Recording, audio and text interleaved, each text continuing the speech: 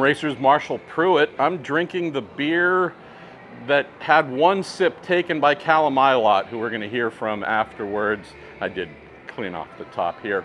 Uh, we're going to have a, a nice long insight here with Callum about just the crazy week that he's had. So that'll be coming up uh, at the end of the video, or actually right after this, but end of the video stuff, we have Katherine Legge coming, Nick Leo, my shooter. Who else did we interview? I've forgotten already. Scott McLaughlin. Scott McLaughlin. RC Energy. RC Enerson.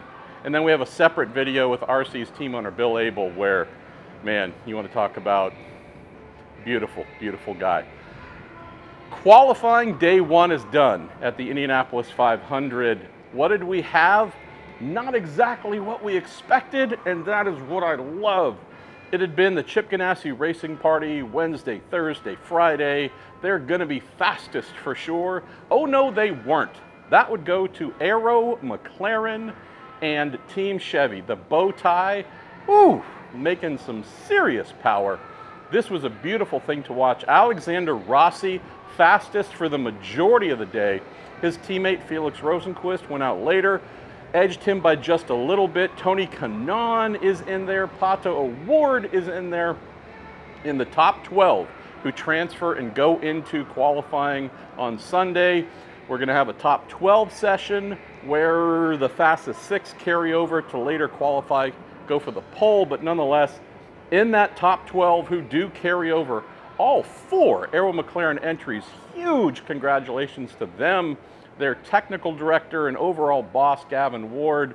We're seeing they did some pretty amazing work again, along with Team Chevy, finding some holy poop horsepower from year to year here. Chip Ganassi Racing, not that far away, right? Alex Palou, super quick, got all four of their cars in the Fast 12. So congratulations to them. Will they be able to find what they were missing overnight? Got to admit, they didn't look like they had what it took. But again, we're going to come back tomorrow. Could they find more? Could Arrow McLaren get something a little bit wrong? We don't know. They weren't the only ones. Who else was there? One of the greatest surprises of the day, happiest surprises, AJ Foyt Racing.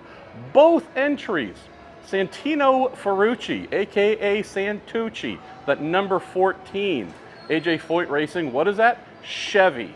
Rookie teammate, fastest rookie on the day, Benjamin Pedersen in the Fast 12 as well.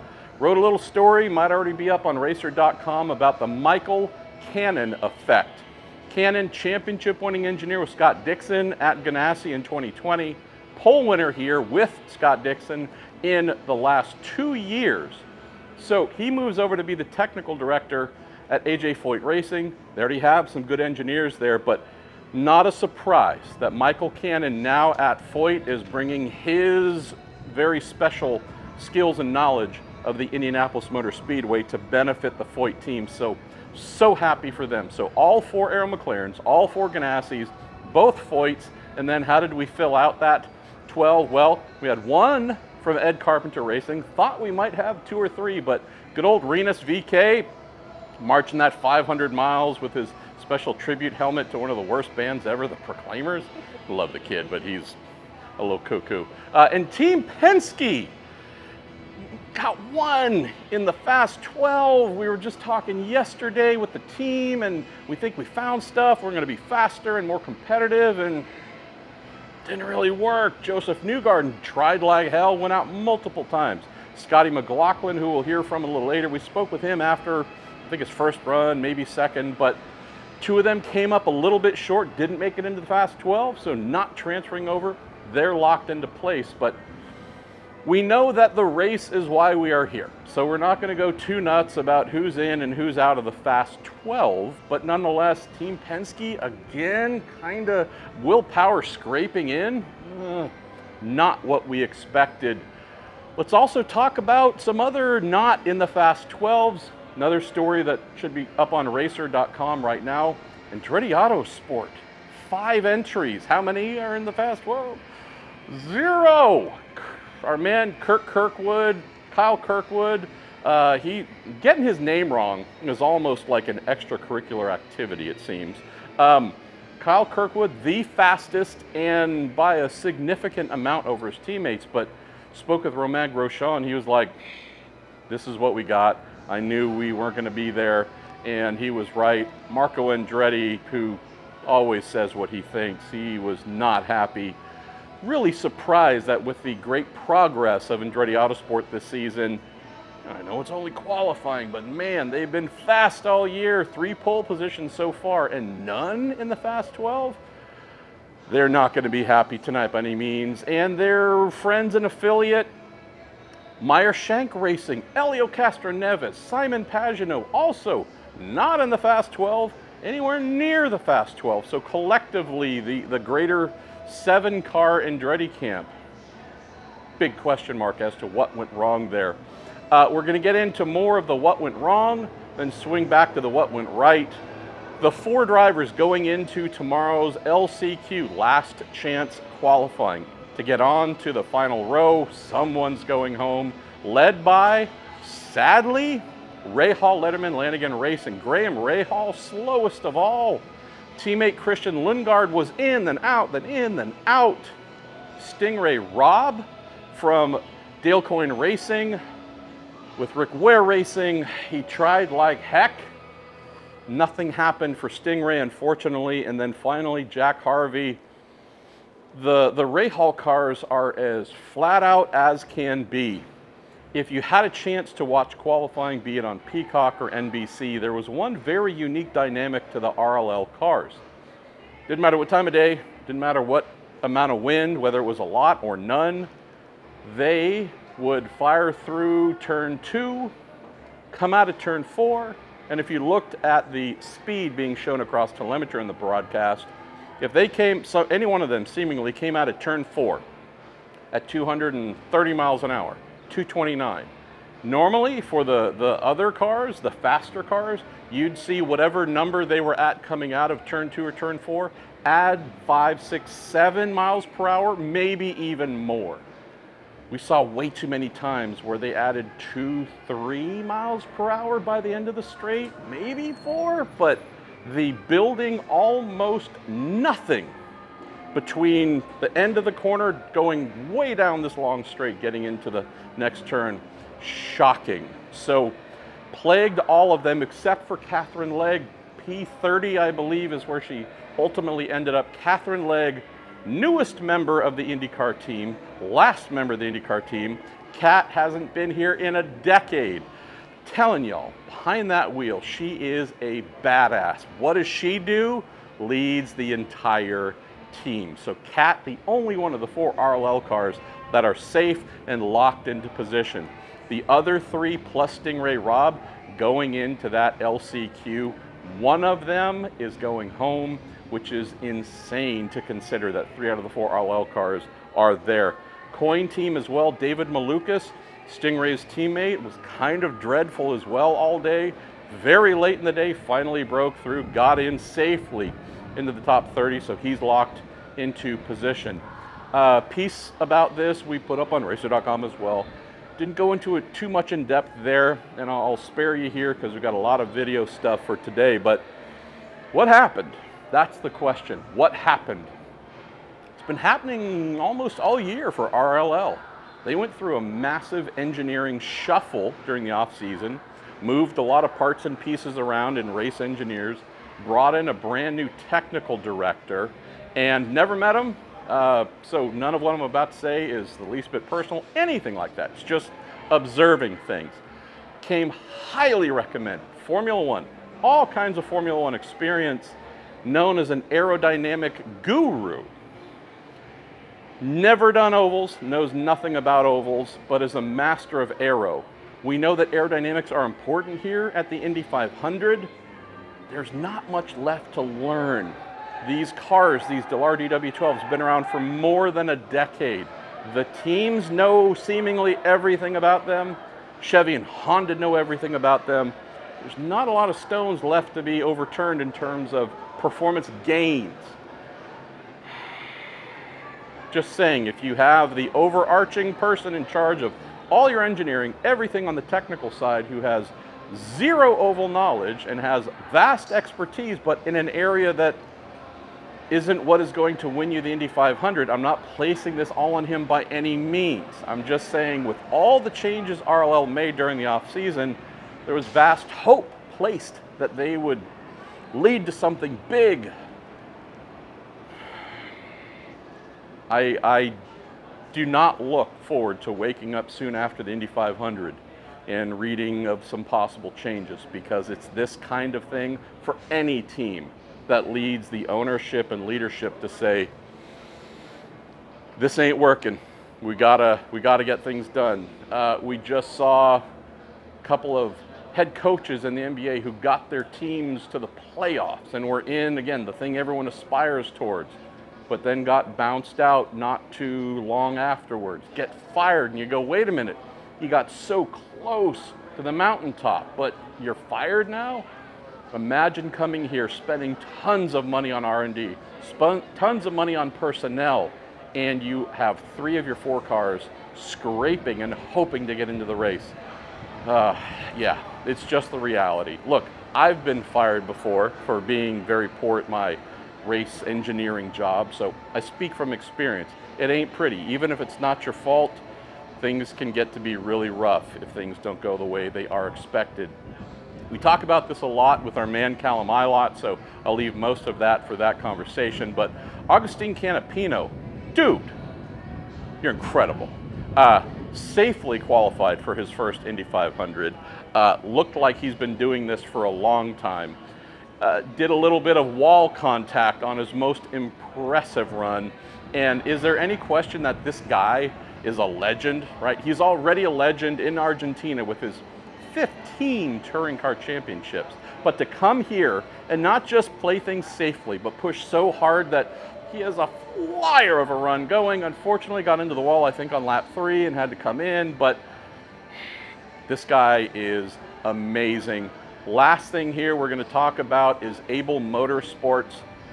Got that separate video I mentioned with Bill Abel, owner of the team. It is, to me, the greatest story of this Indy 500 and one of the greatest I can remember in I don't know how many years of a tiny team with no experience that is going to bed tonight locked into the Indy 500 while some other teams that have been around for 20, 30, however many years are not going to bed tonight with any confidence that they are going to get to stay and play in the 107th Indy 500. I don't know why Callum Ilott did not like this beer. It is freaking amazing. This was a gift of LAT photographer Phil Abbott, a, uh, a man who is one of the greatest home brewers of beers in the IndyCar series. So, Funky Phil, thank you for this. Uh, I need to consume more of it. Uh, Nick Leo, show us a shoe, show us a foot. Our, our photographer, editor, uh, something. Look at that. Uh, this guy's amazing here. Absolutely love him. He threatened to dress up as me for Halloween. Maybe we can get him dressed up with me as me in one of my plaid shirts, although it'd be way too big on him, and have him do one of the daily reports next week when we're not on track. But anyways, I'm Marshall Pruett. Thanks for following along. It sounds might sound a little lame or whatever, but like really do appreciate you. We've been having more and more people watch our silly little videos. Try and bring you deep inside the sport, give you some context, have a little bit of fun. None of this stuff is that serious. We are not curing cancer. Hunger is not being solved because of this, but we're here at this greatest of American motor racing churches doing the thing that we love, watching IndyCar, loving IndyCar, debating stuff, rooting for everyone, even those who are struggling like mad. So let's get to our man Callum, who's been through the wars, I apologize. There's going to be a couple bleeps in that conversation, but that's okay. I'd blame it on the beer, but it's not the beer. I've had half half my other beer in this one. But uh, thanks again. We'll be back to you tomorrow. We're going to know who's on pole. We're to have someone who's no longer allowed to continue here. That is the sad part. But first week, the Indy 500 is almost done. Got more tech videos coming. And uh, Nick, time to edit. What is that? A beer, a it's, grown it's, beer. What's what's it? What's it flavored with? Tears of race car drivers. I don't well, know what to think about that. Well, you want to try this one? Brandyland. Is this sponsored? No, oh. Not at all. Oh, you just bought These these? are gifts. No, these are gifts from Phil Abbott, photographer from LAT. Oh, thank God! I thought Who this knows was that I- sponsored. Yeah, No. I'm, I'm not sure about this one, mate. Well, I only drank a little bit of this one. All right, I'm gonna. Uh, yeah, I'm gonna give that one a break. I'll go back to my lolly. Uh, we call them these ice lollies. Uh, that's perfect. Ice lolly, I lot here. Uh, yeah, your hand's full of beer, but that's okay. Uh, hey, you get to play race car some more. Uh, you get to stay here, be in the Indy 500, and as of a few days ago, it's okay. Yeah, we'll just. Uh, that didn't seem like that was going to be much of a possibility. Um, among the best stories of this event so far, the hardships your team has gone through. I don't want to get into all the stuff because we'd be speaking for at least an hour or more, but this has not just been a change the chassis, then everything becomes good. This has been real questions as to when should we, what should we do, how do we get to where we are. I mean, we'll get to that, but to sum it up, I've done the open test and the week's worth of Indy 500 testing in a day. That's what I've done. So, in some ways, you could describe me as a hero for just getting on with it. You can describe the team as heroes for just getting on with it today. Um, but yeah, that's the simple way of putting it instead of describing an hour. But of course, you want a bit more content than that. But you know, that's that's if the if the, if the thumbnail could be 20 seconds, that was the one. But Give, not really. give him a tiny bit of beer and he gets spicy. We got spicy lot. I like that. So, you've been through the wars, yes. and we haven't even completed the first week of the Indianapolis 500. So let's do a little bit of real talk here. Sure. Your Let's car, and you're going to get to bleep this magical Nick Leo photo. Show a body, a thumbs up from Nick this time. Uh, at the Indy Open test, your car was complete. The team went to work trying to make that car better.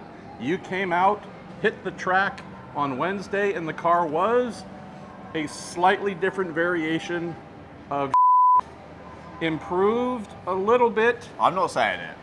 I'm not saying it. Exactly. He's told also he's also not refuting it. Uh, continue through on wouldn't say that. Thursday. Slightly better version of a polished turd. Finally, after going out Friday, very few laps, the decision is made to change the chassis.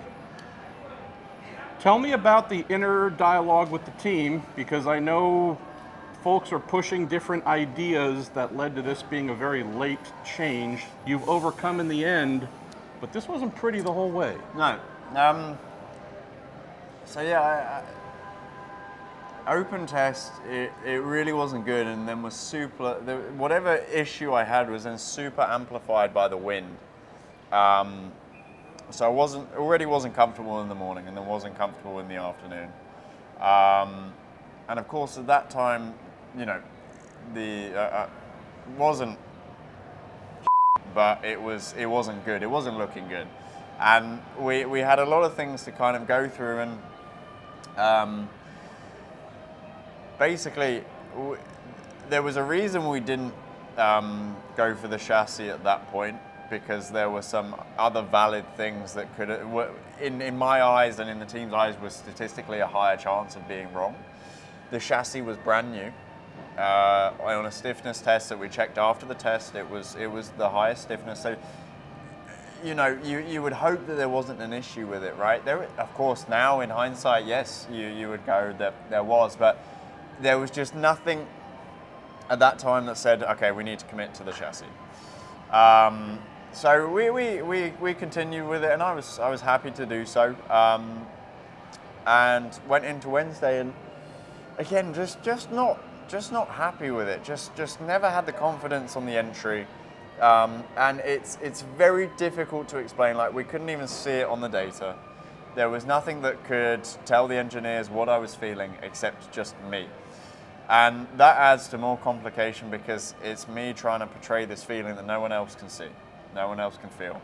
And look, I got a good ass, not just physically, but also in these cars. Um, all right, calm down. Um, and uh, yeah, it was just we knew, or I, I, I knew it wasn't right. And there's certain ways you can um, say that. And Wednesday, I, I, I, think at the end of the day, I was like, I, I really, you know, in a bit of desperation, I think we need to change the car. And at that point, again, we went through it and again, speaking and, and all, all the reasoning behind it, because we missed Tuesday as well with the rain, we missed the open test, second day with the rain. Although I was a bit on the fence with it, we then went to, to continue with the car. Um, and again, that was a decision that I then agreed to do because of the, the reasons as to why. Uh, and we chose to work with it. And we got better with the car. We, we, it, it became a, a, drivable car, just slow, right? I was, I was able to do laps flat and at the end of Wednesday and, uh, uh um, and most of Thursday. Uh, and then I got in it on Friday, and as soon as we went to quali, it was like it's it's just so out the window. It's not going to work. Um, and at that point, you know, I, I probably it, enough was enough. And uh, speaking with Ricardo, we decided to change it. Um, and yeah, some would say it's desperate or whatever, but we tried so hard to make it make it work, and we lost two out of the five days that we'd had because of the rain. Or yeah. sorry, two compared to the five. And um, yeah, we, we, we went for the change and it was a big, big gamble. But as soon as I got in the car, I just didn't have this feeling that I had before. Mm. It, it, just gone and it was almost like a kind of pivoting. Um, of course, then we had to bring this car in the window. Then you have all these challenges of doing. I, I had two practice runs plus an install, straight into qualifying. Uh, because we were going faster in qualifying, that changed everything of how it was behaving as well. So I took off into turn one three times in a row, and then I knew I knew the car was quick. We just had to put it together. Second run, I put two and a half out of the four laps together. I scraped the last one through, and yeah, that was it. I, I think if I'd got them all four clean, we had good pace. The, the, the, pace was good, which for a car that we threw together last night, honestly, we did we did a super job. Job, sorry. Um, He's going through puberty, but it's still okay. at the age yeah. of 24 eating an ice cream. Um, and uh, yeah, uh, at the end of it, you know, walked away with quite a good story. Uh, a lot of stress. I actually had a little cry on the in lap mm. of that second quali run because just you know so much pain and effort and yeah stress of, of trying to explain something that isn't explainable um, and achieve something that you know most people thought was impossible. So uh, I, I'm firstly really proud of myself for sticking in it. As much as people may complain about me, I'm not. Nor, I am wrong sometimes, but I'm not normally wrong. Um, and I'm really happy with the team. You know, they they they stuck by me. They changed the they changed the chassis, and we did an amazing job today to to get the most out of it. I mean, considering my teammate who has been running the whole week uh, finished just ahead of me, of course, his third run was, was a close one, but we did a great job to get the car there. That's, that's mega. So, again, big thanks to all of them. They worked super hard. Um, and yeah. Wow. So, sorry about that. What are you sorry about? He's English. He says sorry a lot. That's okay. A couple things here. Believing a driver is a really important thing. And this kid is crazy good. But as he mentioned, he's feeling things that data isn't necessarily saying, aha, we see the same thing. There's a bit of a, we need to walk along this journey with you to get to the same place you're telling us you are at. And that's part of why it took a while to make this final change. Validation for everybody's belief that this needed to happen. It did happen. Great story to tell. But here's another thing. After that first run, where if we're looking at the average lap speed, you were nowhere near being close enough to being in the field. I spoke to you after, and I'm paraphrasing, but you basically said, I'm going to be in. And there was no doubt, no question, while looking at a average lap speed that uh, on the surface you go, okay, you're on crack, and I believe that's illegal here in this yeah. series, but his confidence in the, the quality of this car, the team you knowing what you needed from the car to be better, them being able to do that, this is really where this story takes a drastic turn. So tell folks about that, mate, where confidence could have been completely destroyed with what you went through, and yet this inner resolve, which you have shown throughout your career, came to the surface, helped get everyone to where you are. Yeah, it, it's tough though because like I was super upset with how it went um, that first run, and uh, it just takes a bit of time to piece together what you need. And like, of course, I had to do a bit of media, and, and as I was going along, you were you were one of the last to get to, but I was just thinking it through, and I'm like, you know, actually, it, I did a 230 the first lap with a humongous lift into one. Like, actually, the car is fast. It just needs to be drivable. And um, at that point, I knew I could probably get another two runs in the day, and even if I had to, I'd go into bump day. And that would have been a blessing because I would have been, or not, you don't want to be in it, but I would have got a fast car if I'd been able to work, uh, work to that time. Um, and look, I, the moment we committed to changing the chassis, um, and there was no going back on it, uh, I just I just had a, a relief and a, a confidence because you know we knew we were going to straight on to Agustin's setup. Uh, I would have to work with it a bit. I didn't think I'd have to work with it as much as I did, Hmm. but I knew it was gonna it was gonna work, and I knew I could do a good job. So I, I, last night I was like, I'm gonna do it. I'm gonna do it. And after that first run, took a bit of time, but yeah, by the time I got to you, I was like, I, I, I can do it. Um, and this is kind of a bit of a thing with me. Like, probably after every run when I was working with the other car, I'd get a bit like, oh, I can't, I can't do it. I can't do it. I can't keep trying because it's just, it's not working. It's not working.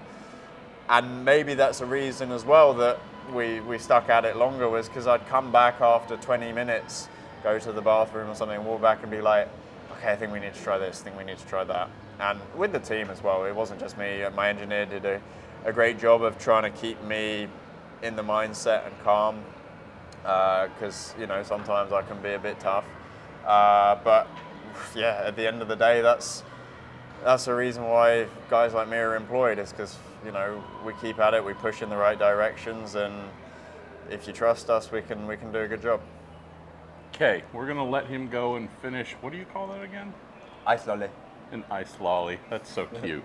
Uh, wanted to have him as our main feature, main guest for our end of day report. We got a couple more coming up here, a couple more interviews, but wanted Callum and I wanted to just let him speak and share this story because we're celebrating Felix Rosenqvist. We're going a million miles an hour. They were super And we're celebrating all kinds of Oh people. yeah, but can we just add on to this, Right. Let me just finish and No, shut up for no. a minute, I love. McLaren- This guy here. Whatever. Ganassi, and the fact that today you needed a plus 230 to be in the almost a 231 minimum to get into the top 30. That's ridiculous. Not as it, only is it ridiculous, I'll up they now. brought him up for the press conference. Although I'd already arranged with IndyCar that you and I were going to do this first, but they decided, screw you, Pruett, we're going to bring him in. But where were you seated at the very end at the kids' table? Right in the middle. That's because I most put myself important there. driver. I put myself. God. I put myself there Dominant. because I don't guy. care. I'm just here. super type A personality is a lot to deal with. But and he struggles eating his ice lolly, but that's okay. I wanted us to spend the most time with him because we can talk about the easy things. Hey, driver from team whatever, you're fast and things are great. Tell us about it. I'm great, we're fast, whatever. This is the realest part of the Indy 500 where he's in the show. It's come from immense talent, but also fortitude and belief on his part, the team's part. I'm always going to gravitate towards the ones where they are just in the, here's another edit, Nick, in the shit from the beginning and they find their way out. So, again, we celebrate all those who did high achievement, who are going to be in the Fast 12. These types of stories are the ones that I love most because they're the realest. So, and we also real. learned, according to him, he's got a great ass. Why standing away from me? Katherine Legge, would you slow down? you haven't been here in a decade. We already spoke about this a little bit, but you have looked quick all week among your Rahal Letterman Lanigan Racing teammates. Tell me about first qualifying attempt here. I know you want to be P1, but at least for what you're able to do, it looks like your car has great potential. Tell me about this.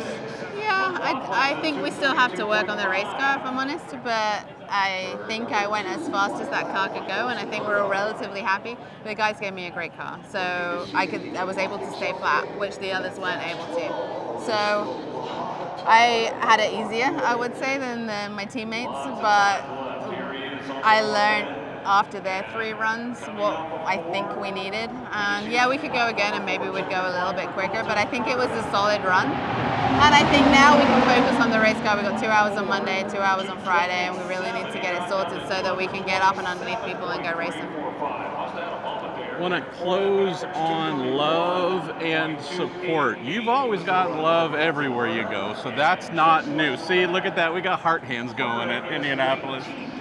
You're not unaccustomed to having folks giving you a lot of love, but I swear I've seen more for you here than I can recall your last two times. You'd mentioned previously just the amount of women here as well. This is a different place than you were last year. Can you tell us about that from what you've experienced then to now? Because it seems like we're in a great place.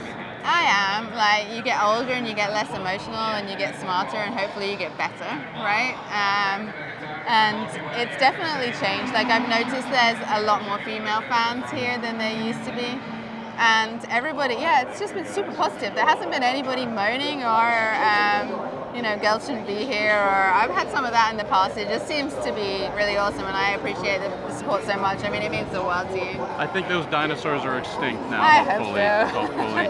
Katherine Legge doing big things like always. Kidding aside, fast not everything you wanted. Did you feel things where you said, okay, a couple oh, things oh, yeah. we'll, we can tweak and come back? I mean, we haven't run since this time yesterday, so I think it's it's the benefit and non-benefit of like going like having another run yesterday. But I think we're in a good spot. I think the, like the pace in the car is really good. I think our first lap could be even faster if we're. There was a couple of hiccups on that first lap that that I'm going to go back and tell the team right now. But um, yeah, I think we can go close to a 34 there on that first lap, and that'll help. Tell me about Team Chevy year to year, mate, because last year Honda mopped the floor.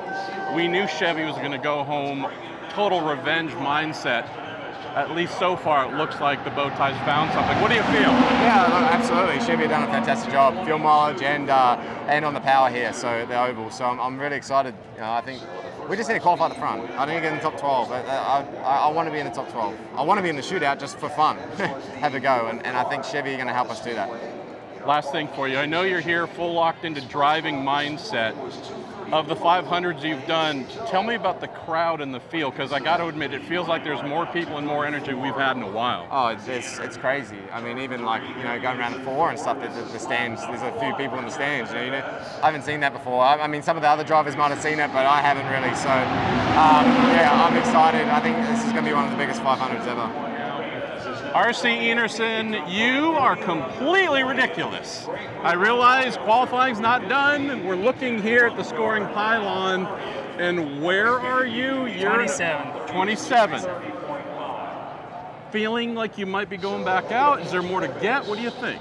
Um, we're gonna have to see. I mean, there's there's a couple cars that are pretty close. I know I know Malukas will be fast, so we'll see what happens there. I think we were a little conservative on our first run. Okay. I think we ran just a little too much uh, too much downforce. Um, and just a little bit of a balance change. So if we have to go, we'll go. But if, if we can get locked in the top 30 today, that's that's the overall goal. So if, even if we're sitting 28th with however much time we got to go, we don't know if we want to risk it or not. So we're just kind of hanging out and seeing what happens here. I'm going to keep mentioning this because it needs to be mentioned. This is Abel Motorsports fourth day ever of being an IndyCar team. They are currently ahead of all four Rahal, Letterman, Lanigan Racing entries and some others. Not asking you to compare yourself against them, but just tell me about the pride of this little band of badasses that is showing folks that if you got a dream and you got talent, you've got a chance at Indy 500. Yeah, I mean, these guys have just been so good on the car prep. And at Indy, you know that's a lot of it. A lot of it's car prep and just how, how fast your car can go because most of it, the, the way you qualify here is you're flat. And if you lift, you're going to lose so much time. So it's just how well your car is balanced and then just how free it can be to, to create that speed. And these guys have just done an amazing job. I mean, we're where we're sitting right now, and I think we're still more speed behind that. So we'll, we'll see what happens here. But it's they've been amazing. Fourth day at the Speedway with these guys. Bill's been amazing. John Bruner, he's awesome. If anybody's ever met him, they know him well. It's it's he's, he's awesome. He loves racing, and they, put together a really good program. Best story, best story here at the Speedway. Keep going, son. Thank you.